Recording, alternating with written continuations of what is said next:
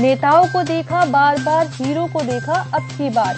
लखीमपुर खीरी लोकसभा उनतीसवीं दोरहरा से निर्दलीय प्रत्याशी फ़िल्म निर्माता, निर्देशक व हीरो वकार खान ने मोहम्मदी डाक मंगला पर एक प्रेस वार्ता को संबोधित करते हुए कहा है कि जनपद शाहजहांपुर से जिला पंचायत सदस्य के चुनाव में वे स्वयं व उनकी पत्नी तथा माँ तीनों निर्दलीय चुनाव जीते थे।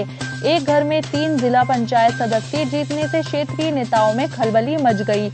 तथा इसके विरोध में उतर आए। इसके खिलाफ कई फर्जी मुकदमे लादे गए।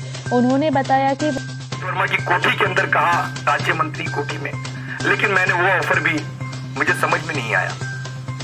जितिन प्रसाद जी ने कहा, शाहिद अनवर कुरैशी जी हैं। शाहजहांपुर के उनके सामने कहा कि आप शहर से लड़ लीजिए तो हमने कहा, अगर तीन सीटें देते हो तो बात करो। क्योंकि मुझे पता था कि कांग्रेस तीन सीटें दे भाई, मैं जलालाबाद आया था। तुम्हारे बड़े बड़े पोस्टर देखे। तुम एक काम करो, मेरा रथ रुक रहा है, सात तारीख को बकरा ईद के रोज मेरे घर आओ। भाई साहब, मैं नहीं गया क्योंकि मुझे एक जो कार्य करना था, जिस तरीके से सोचा था, वो मेरी गलती थी। कुछ नेताओं के दबाव में मैंने हरा दी। तो मैंने कहा, सर, कोई बात नहीं।